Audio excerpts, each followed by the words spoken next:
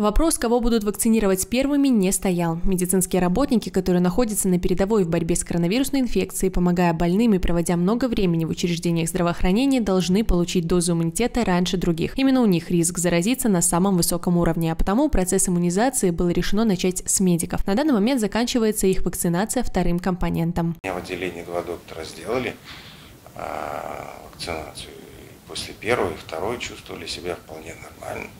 Я сделал первую вакцинацию, тоже чувствовал себя хорошо. Это вторая вакцинация. Как бы, почему делаю? Ну, потому что я считаю, что риски, которые могут возникнуть с заболеванием, гораздо выше – чем те риски, которые возникают при проведении прививки. Процесс иммунизации проходит в два этапа. Сначала вакцинируют первым компонентом, после истечения трех недель – вторым. Благодаря вакцине уже через 2-3 недели у человека появляются антитела, которые станут отличной защитой от COVID-19. Так, наша вакцина, э, она хранится при температуре не ниже минус 18 градусов. И мы за полчаса ее вынимаем перед вакцинацией, и ну, она размораживается, и дальше мы вводим. Следующая категория граждан, которые смогут избавить себя на долгие месяцы от печальной перспективы заболеть коронавирусной инфекцией, станут педагогические и социальные работники. Планируется, что их вакцинация будет проводиться с начала марта по факту получения новой партии российской вакцины против коронавируса «Спутник Ви». А массовая вакцинация населения начнется ориентировочно в конце марта, начале апреля. Министерством здравоохранения Республики Беларусь внесены изменения и одобрена вакцинация пациентов старше 60 лет.